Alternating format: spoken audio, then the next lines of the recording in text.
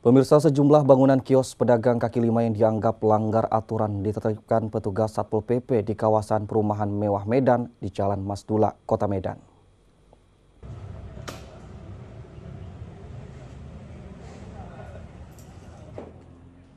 Dianggap melanggar aturan dan tidak mengindahkan surat peringatan, petugas Satpol PP Kota Medan menertibkan sejumlah bangunan milik pedagang kaki lima yang berdiri di atas trotoar kawasan perumahan mewah di Jalan Masdul Haq, Kota Medan.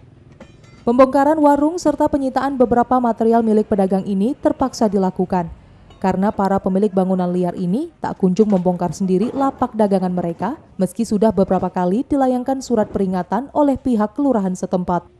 Menurut Kasih Terantip Kelurahan Anggrung Medan Polonia Jonar, selain mengakibatkan kemacetan setiap harinya, bangunan liar di atas trotoar ini juga kerap mengganggu instalasi listrik di sekitar Jalan Masdul Haq Kota Medan.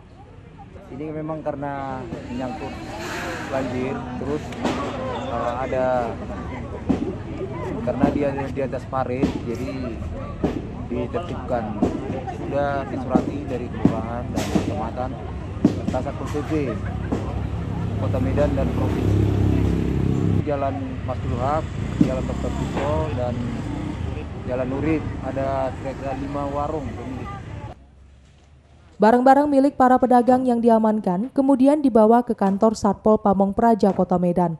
Petugas berharap warga tak lagi melanggar aturan dengan mendirikan kembali bangunan di atas trotoar, karena penertiban ini akan terus dilakukan secara berkesinambungan. Dari Medan, Ahmad Ridwan Nasution, iNews melaporkan.